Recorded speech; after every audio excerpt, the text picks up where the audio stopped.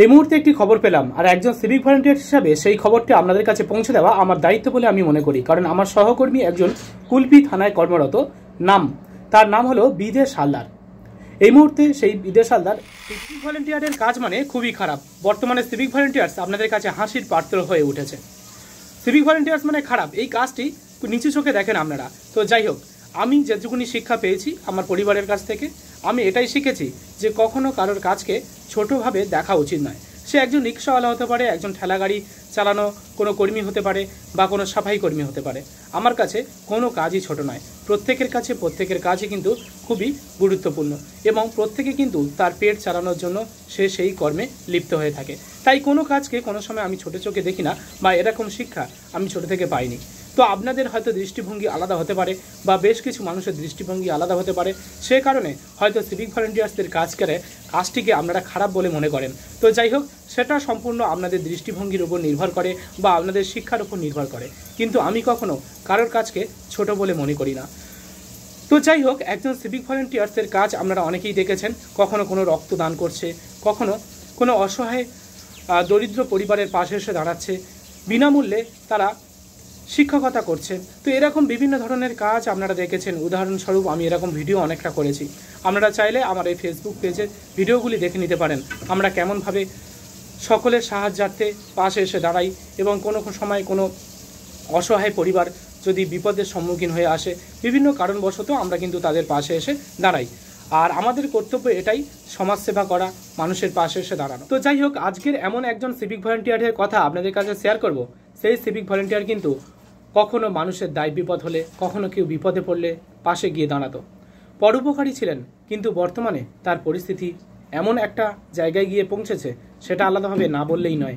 তাই আপনাদের কাছে অনুরোধ করব, ভিডিওটি অবশ্যই শেয়ার করে প্রত্যেককে জানিয়ে দিন, যাতে আপনার মাধ্যমে এই সিভিক ভলেন্টিয়ার্সের পরিবার বর্তমানে কিছুটা হলেও উপকৃত হতে পারে। তো ব্যাপারটি হলো এমনটাই, আমি প্রতিবেদন আকারে সেই তথ্যটা আপনাদের কাছে পৌঁছে দেবো।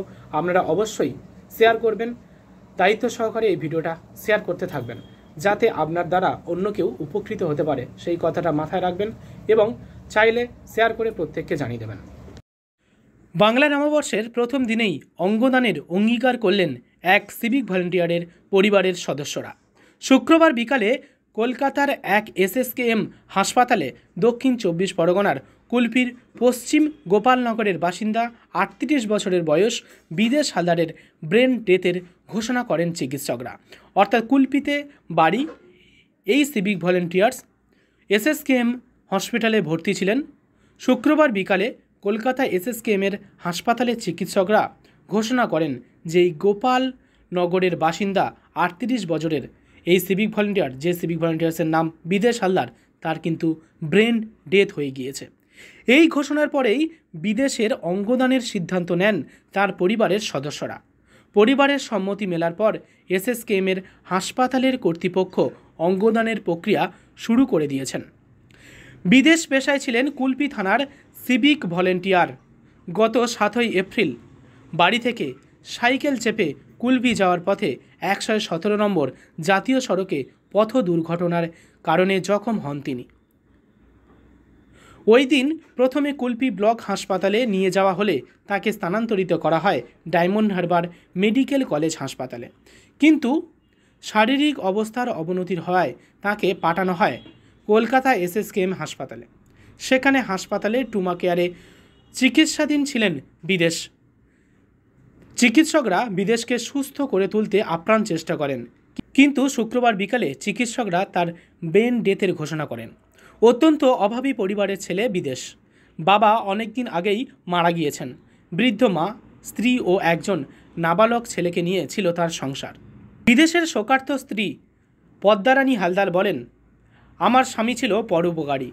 মানুষের বিপদে দেখলে ঝাঁপিয়ে পড়ত। ওর শরীরের অঙ্গ দান নিয়ে মানুষ যদি সুস্থ হয়ে ওঠে, তাহলে আমি খুশি হব। এই সব মানুষের মধ্যে বেঁচে থাকবে আমার স্বামী। তো এখানে বেশি কিছু বলার নেই। আপনি বুঝতে পেরেছেন যে বিদেশের পরিবার থেকে যেহেতু বিদেশ ছিলেন পরোপকারী, তাই তার পরিবার থেকে সিদ্ধান্ত নিয়েছে এই মুহূর্তে বিদেশের অঙ্গ দান করার। তো আপনি চাইলে ভিডিওটি শেয়ার করে প্রত্যেককে জানাতে পারেন। অন্য কারোর কোনো অসহায় ব্যক্তির যদি অঙ্গর প্রয়োজন হয়, তাহলে আপনি কুলপি নগা- গোপালনগরের বাসিন্দা, বিদেশ হালদারের পরিবারের সাথে অথবা কুলপি থানার সাথে যোগাযোগ করতে পারেন।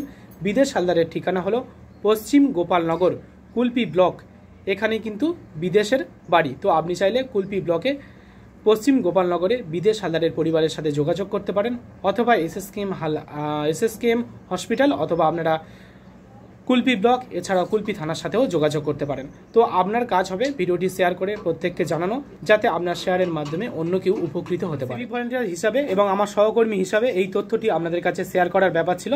তো আপনাদের কাছে সেই তথ্যটি শেয়ার করলাম। আমার মাধ্যমে যদি কেউ উনি উপকৃত হন, তাহলে আমিও খুব খুশি হব এবং আমার অনুরোধ রইল, আপনি চাইলে এই ভিডিওটি শেয়ার করে জানিয়ে দিতে পারেন। আপনার একটি শেয়ারের মাধ্যমে অন্য কেউ উপকৃত হতে পারে। ধন্যবাদ।